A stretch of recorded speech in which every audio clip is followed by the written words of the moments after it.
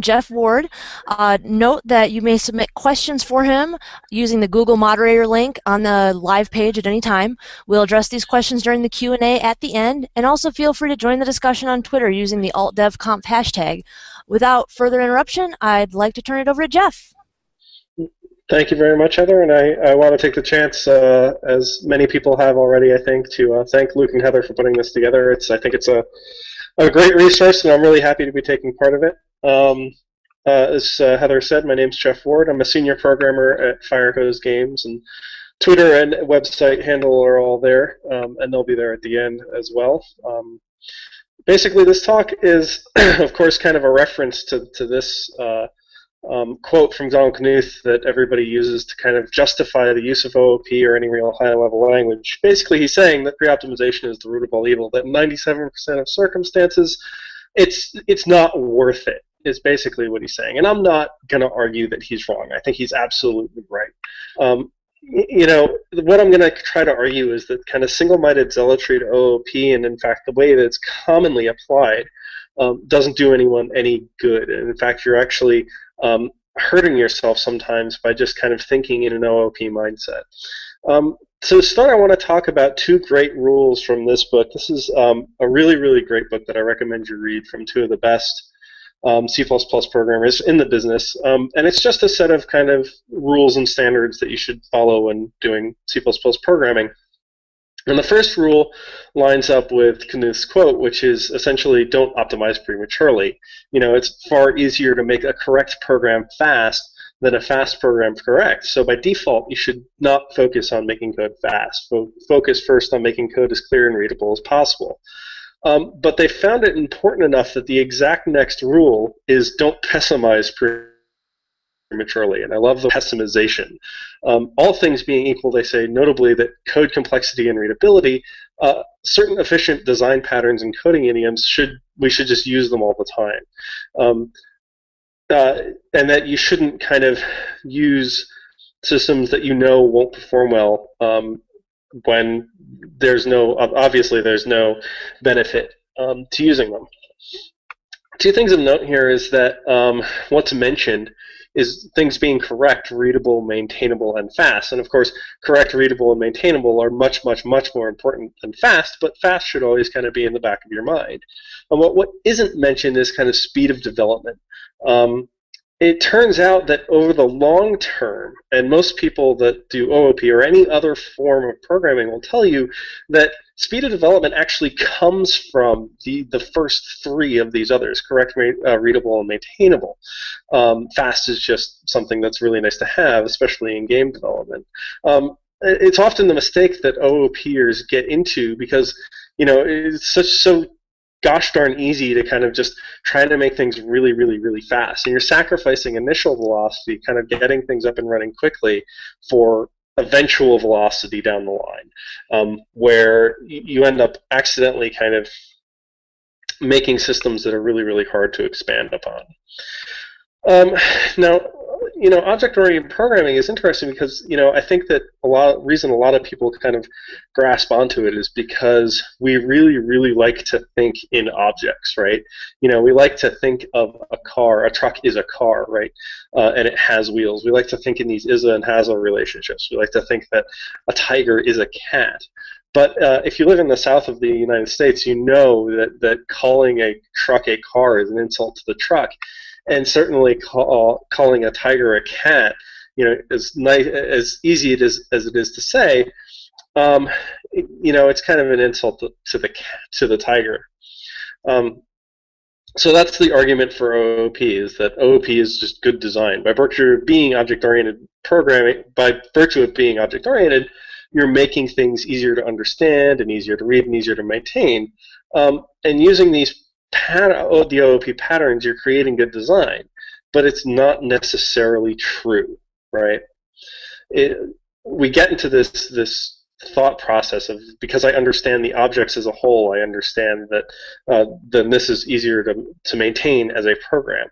Um, in my opinion, the principles of design are important, not the paradigm. That in any paradigm, be it OOP or functional programming or or um, any other type of programming, procedural programming, um, the principles of the design of how you design are important, not the paradigm that you're actually using. And the tenets of good design, I think, are the key. Interestingly, you know, being uh, correct, simple, and clear, uh, being flexible, not rigid, having things encapsulated and self-contained, and mobile so they have little or no coupling.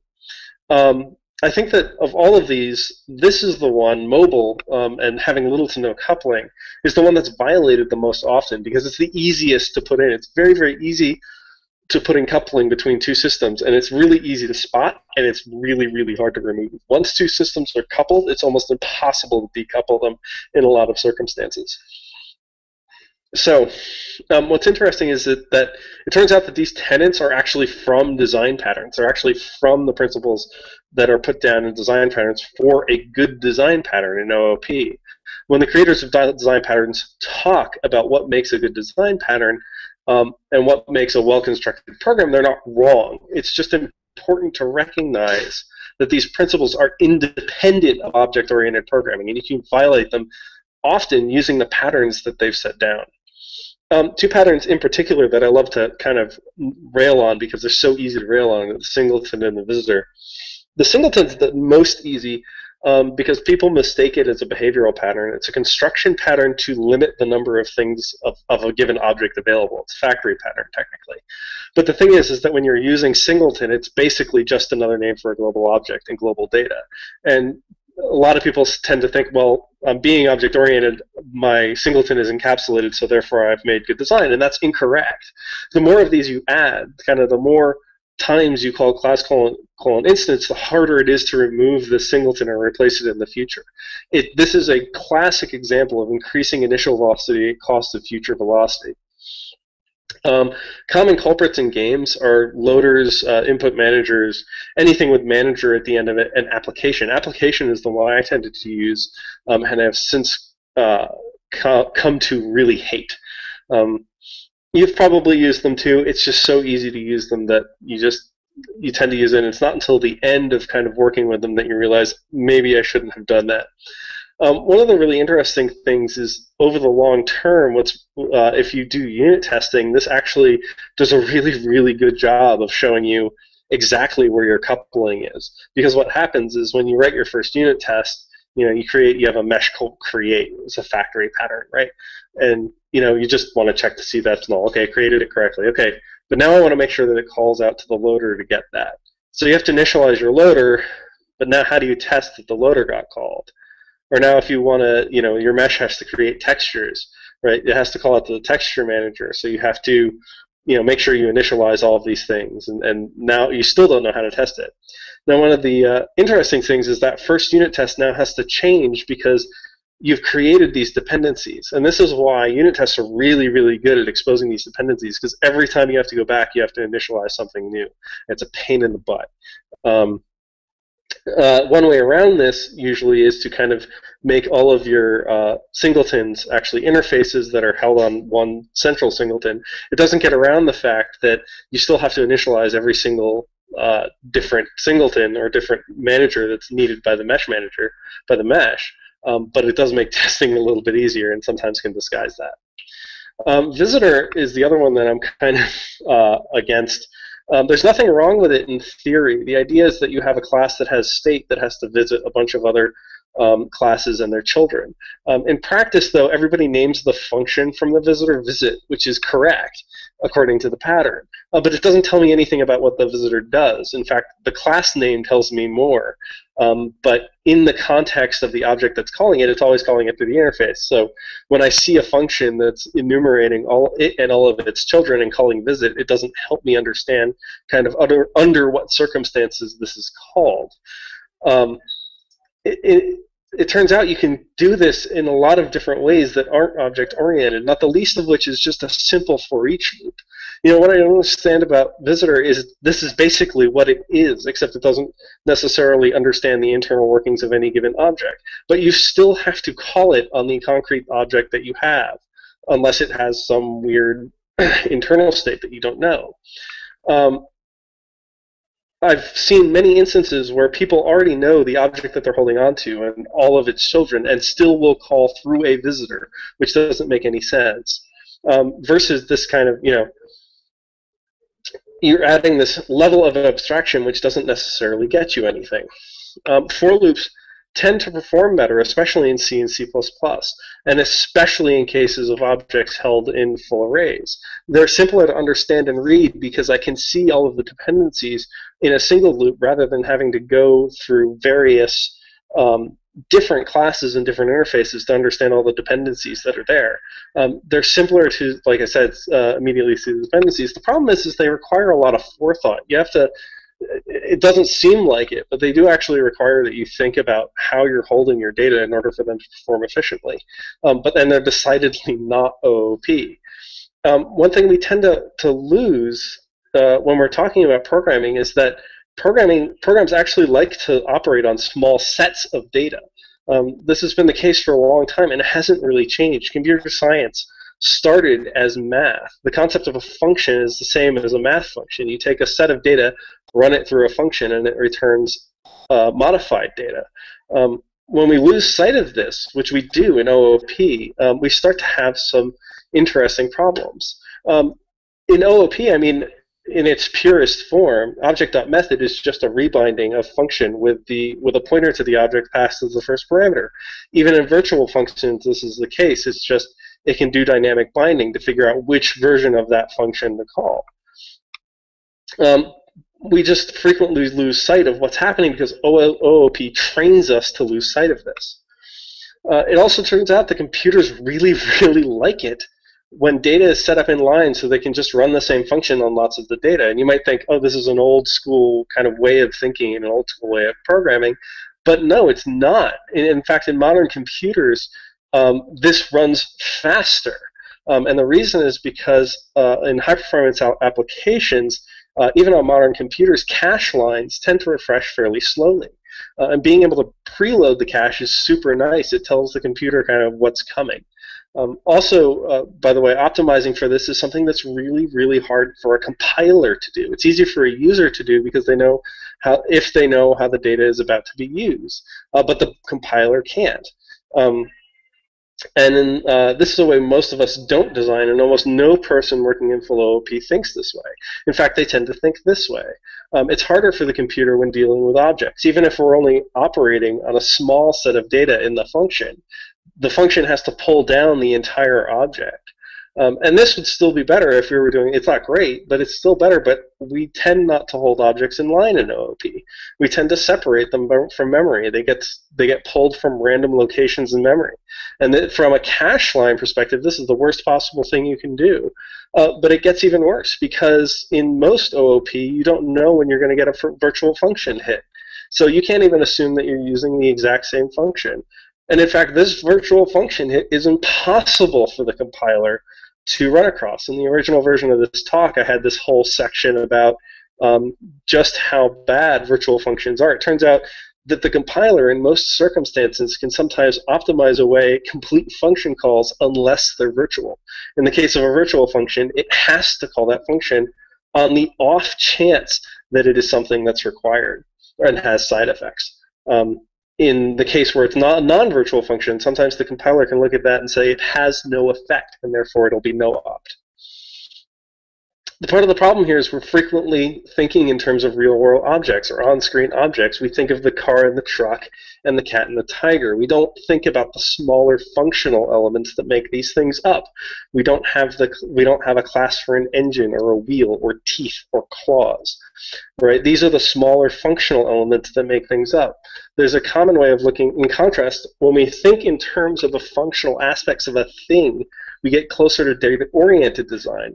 Um, in each case, each one of these can be used, each one of the components can be used separately um, which makes them highly mobile and decoupled from each other.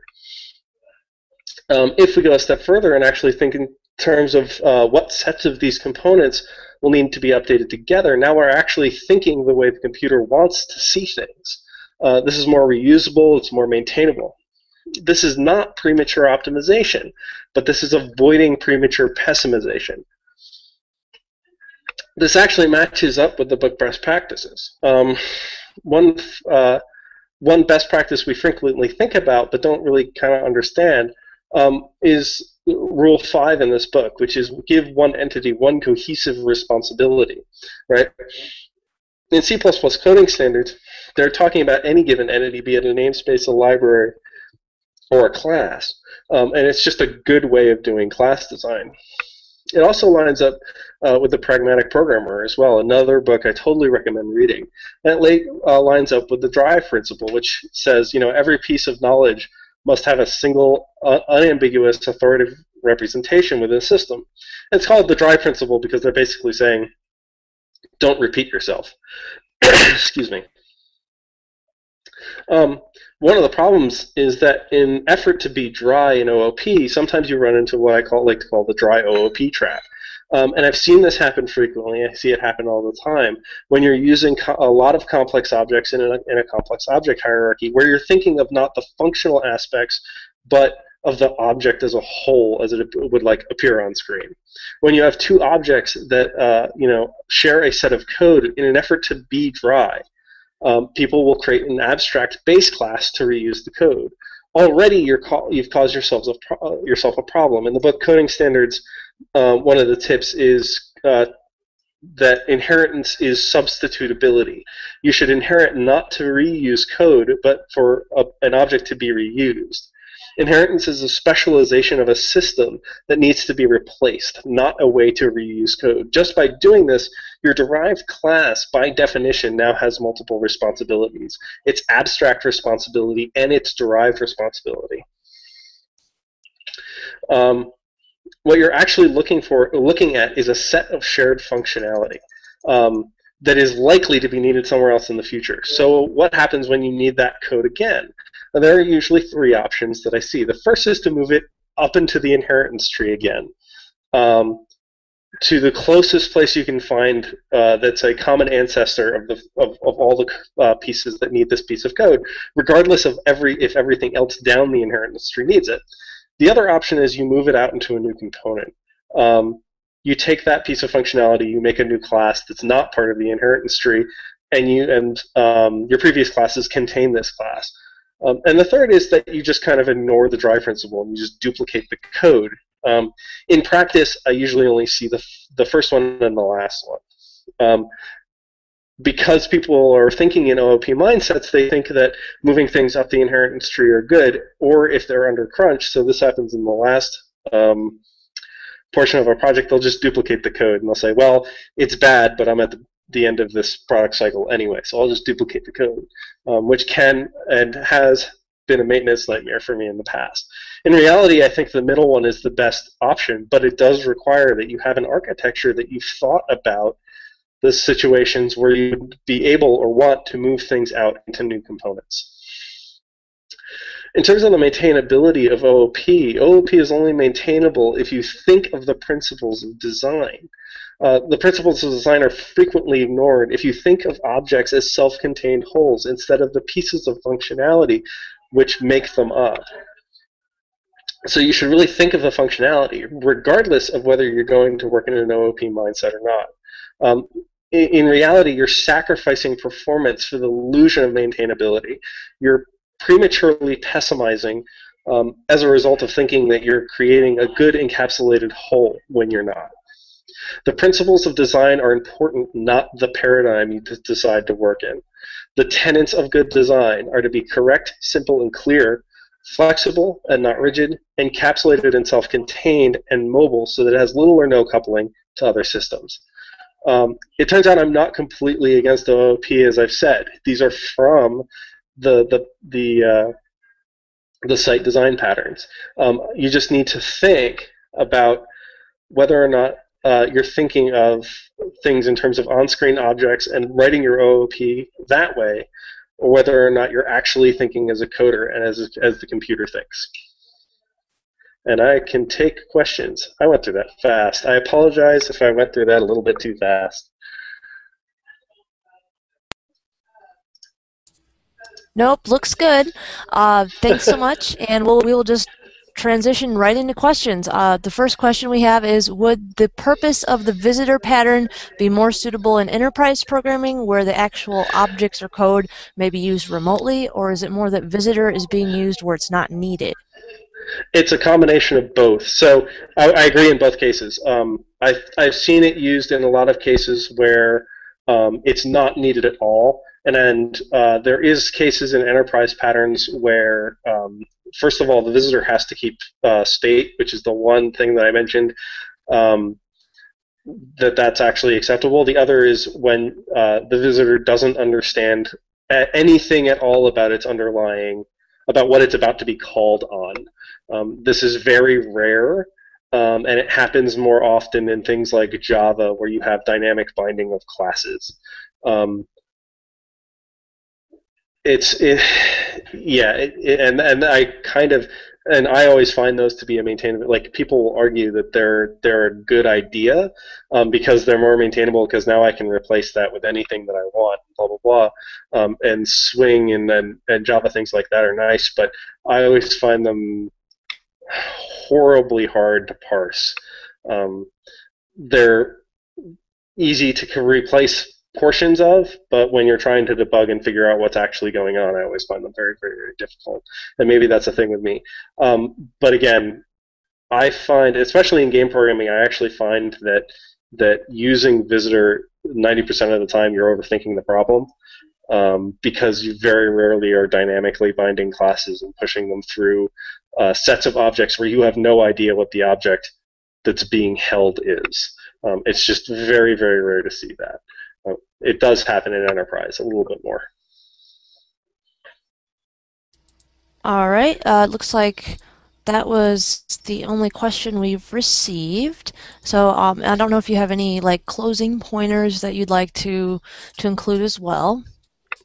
Uh, so I talked a little bit about kind of the performance of OOP. I have a whole. The original way I, I wrote uh, this was um, it it's well, it was an hour long, so I had to cut it down a bunch. And I talked a little bit about performance aspects, but there were um, you'd be surprised at how often just simple things cause huge performance problems in, in object-oriented programming. Um, virtual functions, especially, are um, really really nasty. They have they incur automatically just incur a um, piece of overhead from having to from the vtable hit, and then on top of that, uh, the um, compiler can't optimize them away. Um, and virtual functions are kind of the main big thing that are available available to you as a uh, using OOP. Um, in addition, I think we also like, and this is often used as an example of good coding in, in game programming is the game object pattern where you have one object which is off of which every game object in your game inherits. Um, and I think as an initial kind of way to get into things, it's not bad. Um, but you need to realize that down the line it ends up being, you know, you end up having this ubiquitous game object that has tons of code in it that's not used by 90% of your objects just because you did exactly what I was telling was saying in the past. You've got this these pieces of shared code um, that just had no other good place, essentially. Um, and I've seen that happen many, many, many, many times. Um, whereas if starting with a component pattern, which is actually if you use, if you've used Unity, it's how how it wants you to code, is to think about the components that are on an object, not uh, every object as an object um, in in uh, OOP form. Uh, uh, thinking in terms of components is nicer, I find. Oh, we do actually have a question about components. In a mm-hmm. component mm-hmm. system, what is the best way to deal with intercomponent communication, such as a graphics component needing to needing information from the physics component, for instance? There's a few ways to do that. Um, the easiest way, uh, so you know, generally you don't want to have uh, a, something like a graphics component grabbing information from a physics component. Instead, you would have a position component, which so tells everything where it is. Um, and then you can, and then there's no problem really coupling that graphics component to the position component. It's going to need it, um, and there's no problem coupling the, the position component to the physics component because they that they need that piece of information. Um, the other option is to just look at those as sets of data uh, and have a system that that reads the information out of those components as needed, and then therefore those components are reusable, and then the system can can be replaced as needed. Um, that's a it's a kind of it works really well. It's really actually if you've kind of worked in OOP for a long time, uh, it's called entity with code and systems is kind of hard to wrap your head around sometimes, but it's an op- optional other way to do it. Um, the third way is with message passing. I don't recommend it. Um, uh, messages break the chain of, of, of call, break the call stack. Um, they're really, really good in a lot of circumstances, but for querying for data, they're really they're not great unless you're doing um, an MMO or uh, some other networked layer, um, where you may have to send a message to, to something across the network in order to query the information out. Okay, and uh, one last question. Um, how would you solve dependency in singleton managers? I got this question when I gave a dry run of this talk. Um, there's a you have to think about um, whether or not that manager is actually necessary. Uh, a good example, the example that I gave that I could actually come up with a really good um, thing for was uh, a mesh loader, um, where the mesh goes to load itself and then it notices it has a bunch of other dependencies. Um, the nice way to do that would be to actually pass in, you know, a list that can be modified that just uh, is just a list of strings, and it just pushes every single thing that it needs that it's dependent on onto that list of strings. And the loader loads the mesh, grabs the list of strings, load every, loads everything else, and then passes, passes all of those resources back to the mesh saying, here they are. Um, the one that's a little bit harder is, is sound. Um, when you have a, a lot, in a lot of cases, and even our uh, sound guy just uses, you know, sound manager instance play sound, um, which is by far the easiest way to do it, um, but definitely couples everything to the sound manager. Um, there is a, a, there's a message passing possibility there, and then there's also you can query each object saying uh, at the end of it saying, hey, what type of do you need to play a sound this frame? If so, what is it?